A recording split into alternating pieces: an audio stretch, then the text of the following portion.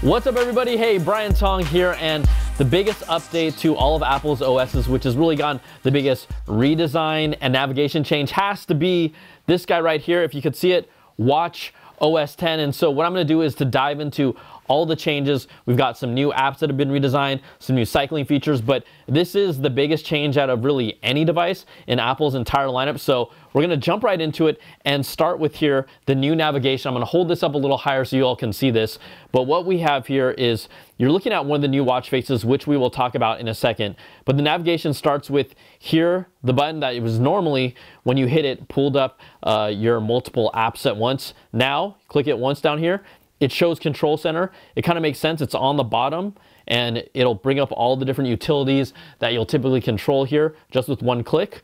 Then if you want to scroll down from the bottom, which used to be uh, control center, this brings up to the new smart stack. And once you have the smart stack, you can either manually you know, uh, scroll up to get these different intelligent widgets that show off glanceable information.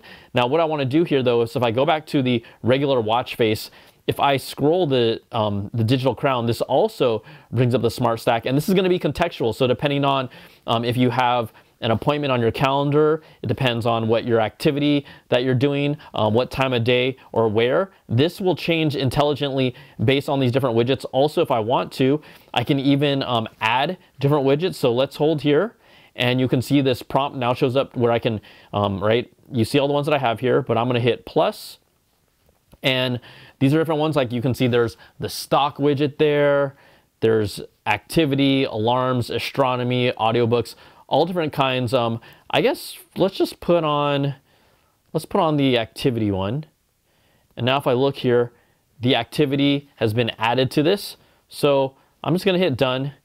And what you'll see is activity isn't at the very top because right now I'm not really doing anything. So it's kind of prioritized the weather for the day and then obviously news then you have activity, calendar, upcoming events. Um, and then here's a kind of fun widget that lets you bounce between music, um, a workout, or the messages app. So that's the smart stacks here intelligent and it is contextual based on what you're doing. Now, in other aspects of this navigation, I talked about here, now this is how we get to Control Center by clicking just once here. Control Center pops up, all the utilities.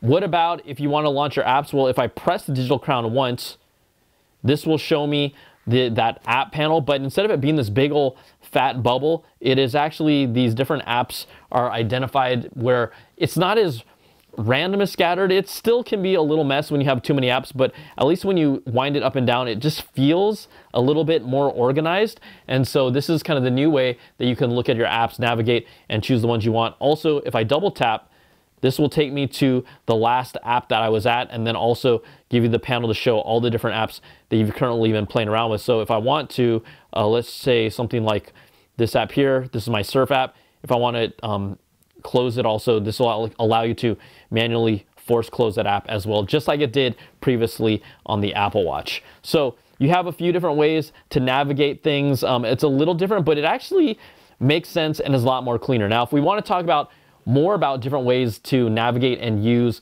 the Apple Watch. Well, you see this new watch face here, right? Previously in the past, when you swiped left or right, you would be able to change between all the different watch faces that you have. But now what you do here is press and hold, and then from here, you'll be able to switch between the different watch faces that you've already made. And there are two brand new watch faces that are here that are part of the mix. You saw one already. This is called Palette. And I love how this is kind of like a, a spectrum of colors and they're really cohesive and kind of feel um, blended well. I mean, it actually unintentionally matches my jacket or was that intentional? Did, did I buy this jacket because this watch face or did this watch face see what I'm wearing and choose these colors? No, it was neither of the two. It just so happened. So if I hold down on here, let's edit this watch face. And not only is this the, the multicolor watch face, but within the palette, you have different ones. This is the emerald green. This one is the hues of, what's it? I can't read that. Oh, azure, so blues. Marigold, which is oranges and reds. Wisteria, which is purples. Dandelion, which is different shades of gold and yellow. Um, this one's called Storm Blue, a little blue and orange. So there's a bunch of different color combinations or kind of monotone colors that you can have as well. I'm gonna keep it at this Also, if you want to change the complications on the watch, you'll swipe here, and then this is where you can choose different complications that are available, uh, you know, depending on what you want. I'm going to keep the temperature there, but if you look at all these complications, I have temperature here, I have my messages, I have uh, my workout, and then I have my activity. Those are the complications that I like for this watch. So I'm gonna keep it here. This is the palette watch face, one of the new watch faces here in WatchOS uh, 10. I'm gonna also scoot over one, and let's go check out the Snoopy watch face. Now this is one of the coolest ones because we've seen the Mickey Mouse watch face, but the Snoopy one is a lot more interactive. Every time the watch face appears, I feel like he's him and Woodstock are doing different gestures or moves. If you're working out, he's gonna become active. Let me just um keep on, let me prompt him. Every time I show him up, right, he knows it's nighttime, he's going, oh, let's see if I can get a different one to show up. All right, that's just the standard watch face. Let's go here um, play around. Let's see if I can get him to do something. Okay, there we go. Snoopy's now on top of the hand, slides down, and then kind of hangs at the bottom. So this watch face does a lot of different things, and it just makes it fun. Now we talk about brand new watch faces. Palette and Snoopy are the big two, but also Apple has a whole bunch of redesigned apps on the Apple Watch specifically for Watch OS 10. So let's, oh, my arm is getting tired, but Let's jump in here. Oh, here we go. Uh, Snoopy's playing with his typewriter on a barn. Okay, but let's go into, oh, the Woodstock was just on his head. Okay, so let's go into some of these different apps and what they look like. We'll go into the activity app. This is an all new look where I can click here for my weekly summary. I can, um, if you look here, if I scroll the digital crown, I can get access to a different view for, uh, this is my, my calories burned. Here's the minutes of exercise. Here's my standing hours. Clearly, I just put this on a little while ago because I wasn't wearing an Apple Watch the whole day. So the, the activity app is different. Let's go here and find something else. Let's go to uh, something like the weather. The weather app looks totally different. It'll take a moment just to load the information, but this is a new way to look at the weather app. You can again scroll the digital crown to see the different, uh, the seven day forecast as well. I'm to go back here. You can see different conditions, temperatures, all wind. There's a lot of different metrics that you can access to, but the watch face itself just has this new kind of slick look to it. Let's go here now. Oh, there's Chef Snoopy. See, I'm telling you, there's so much stuff. Uh, could we go to something like the, the heart rate?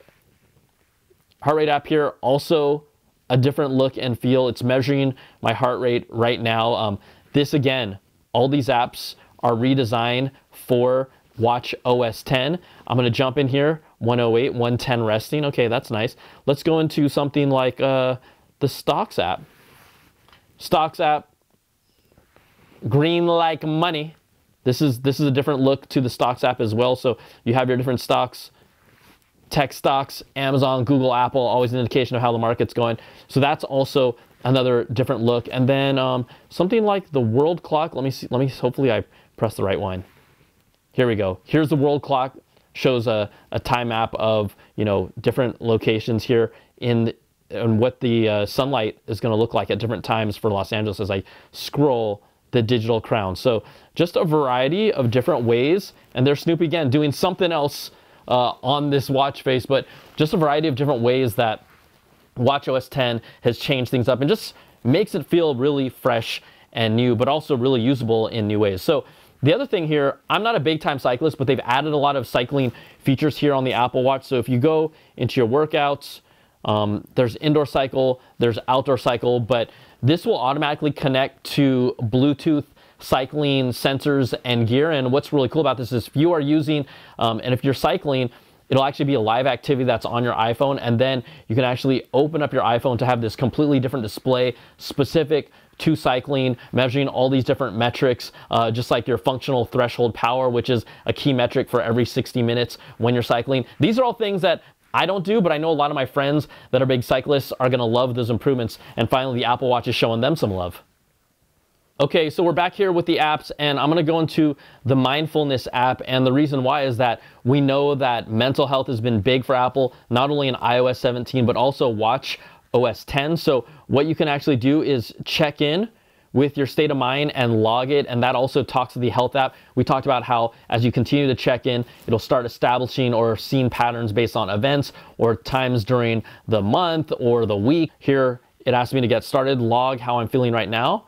I mean, it is late at night, but I'm feeling good because I'm looking good. So I can turn the, the digital crown to choose very unpleasant, slightly pleasant, very pleasant. I mean, I'm feeling good. I, I would say I'm on the very pleasant side. So I'm gonna go with that and hit the check mark. And then it asks, you know, words that describe how I'm feeling at this time. So let's just say uh, happy. I always, I love being happy, but I actually am happy. am I? Okay, so there's uh, you know another way is to log how you're feeling. This all goes into establishing you know different baselines and just really giving you suggestions to how you can be aware of your mental health. Really key but apple's leaning into this iphone and apple watch. Also if we go in here let's try and pull up the compass app. Let me find it. I have it typically down here i believe. Okay here it is. So here's the compass app and what's different now is if you are going on a hike or a walk, it's going to indicate, um, you know, you have that waypoint view. It's going to show you where the last cell connection was so you can always be able to kind of go back to that point in case you need to make a call. And then also the last emergency call waypoint that you have if you need to make any type of emergency call. But the key thing why that is there on this watch is because there is no SOS satellite emergency call, but these are two new uh, points that will show up on the Compass app while you're walking around. You also have Apple Maps on here, which has added different topography uh, to kind of give you a better look at elevation as you're going on trails and whatnot. And then with WatchOS 10, it's it just feels cleaner. It also feels snappier and faster than it has before. So I think just the overall redesign, the the new visuals, the new navigation, and it feels really nice and speedy. Those are all improvements that have happened across the board for the Apple Watch with WatchOS 10. Now, if you're wondering, okay, what it is going to be compatible with, uh, WatchOS 10 will run on the first Apple Watch SE, the second generation Apple Watch SE, and then Apple Watch Series 4 and higher. This is going to be available in fall. It is available right now with the public beta, but you do have to install the iOS 17 public beta on your phone to then allow you to update the watch. Um, but overall, it's been a great experience. Again, uh, I just love specifically what they're doing with the Apple Watch because it does feel like more than a fresh coat of paint, but moving in a new direction with glanceable information, which was really the roots of what they started with, but they couldn't get it just right. And now the fact that I can just scroll here, pull up my glanceable information on top of my watch face and make it easy to, you know, that's coming from processing power, the ability for the watch to do more that maybe it couldn't do in the very first gen. I mean, we are at Apple Watch, what, Series 8 and Apple Watch Ultra. So that's been a long time for this to improve. And you can see that it's just made this device so much better. So there you have it, just a first look at WatchOS 10. It will be available officially coming this fall, but the public betas are out right now. And uh, I hope you enjoyed this kind of breakdown, but these are the big new features, the redesign and the new navigation in WatchOS 10. I got plenty more videos for y'all, so come on back and I'll see you later, all right? Peace and love.